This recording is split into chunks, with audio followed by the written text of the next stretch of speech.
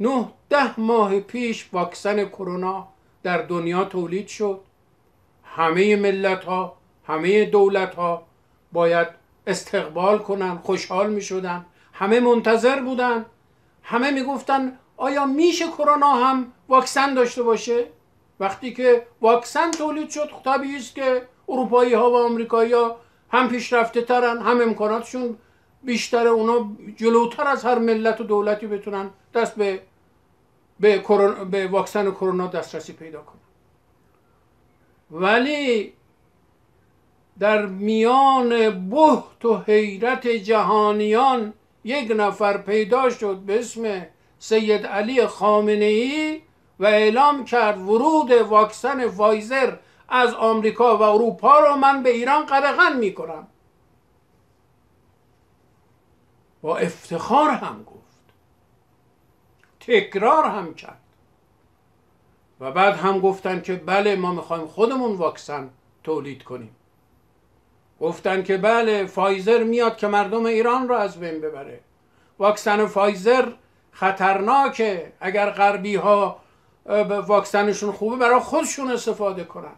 نتیجه این سبکسری این کینتوزی این دشمنی این این این در واقع سوء استفاده مالی و طمع این شد که امروز هزاران تن از مردم ایران مردن یا در حال مرگ. و جالبتر این که آقای خامنه ای خطاب به رئیسی میگه که برید اعتماد ملت رو باز ستانید.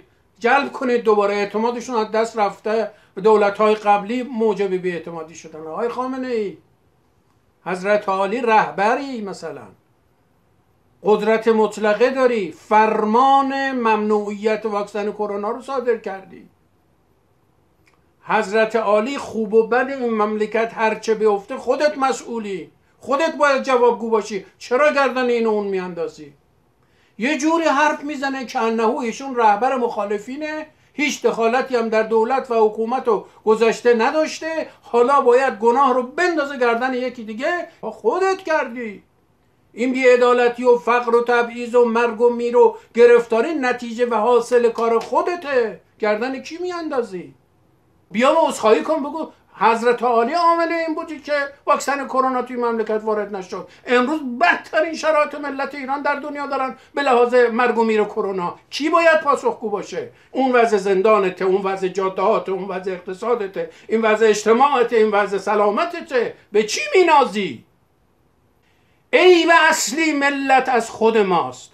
بخشی از ما ابلهیم بخشی از ما بی تفاوتیم بخشی از ما منفعت طلبیم و امروز یک آخون این گونه بر ما حکومت می‌کنه. ما رو می‌کشه از بین می‌بره. چشم میندازه تو چشممون و میگه که بله باید عدالت برقرار بشه.